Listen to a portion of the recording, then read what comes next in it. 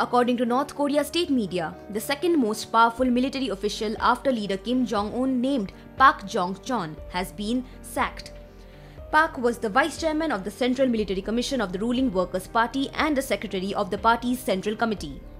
As per the official KCNA news agency, he was replaced by Ri Yong Gil at the committee's annual meeting last week. No reason for the termination of the military official was reported.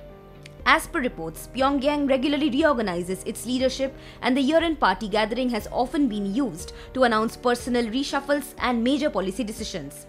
State television showed Pak sitting in the front row of the podium with his head down during the meeting while other members raised their hands to vote on personal issues.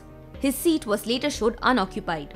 He was also absent in pictures released on Monday by the official KCNA news agency of Kim's New Year's Day visit to the Kumsusan Palace of the Sun, which houses the bodies of his grandfather and father, unlike in October when Pak accompanied Kim on a trip to the palace to mark a party anniversary. The party's Central Military Commission, which is headed by Kim, is considered the country's most powerful military decision making body above the Defense Ministry.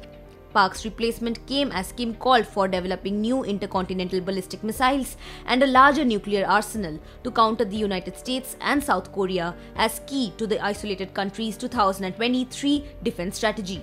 Pak had rapidly moved up the military ladder from a one star artillery commander in 2015 to a four star general in 2020, taking credit for contributing to progress in the country's short range missile technology. In late 2020, Pak was promoted to the Politburo and earned the title of Marshal, the highest military rank under Kim, and became a leading voice last November against joint South Korea US military exercises. Pak was briefly demoted in mid 2021 after Kim reprimanded some officials for their handling of North Korea's anti coronavirus policy before being promoted again months later. Pak's dismissal comes despite Kim mostly appreciating the country's advances in weapons development during the meeting, unlike other areas where he pointed out some faults and called for improvement. Pak's successor Ri is also a senior military commander who held key positions including Chief of the Army's General Staff and Defense Minister. Subscribe to One India channel and never miss an update.